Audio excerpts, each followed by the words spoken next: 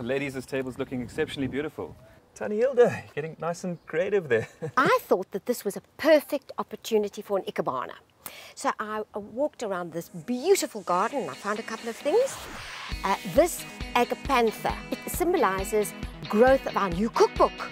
And uh, this dry stick here is represents the old cookbook. Um, this stone here, the clippy here, is uh, to keep everything together.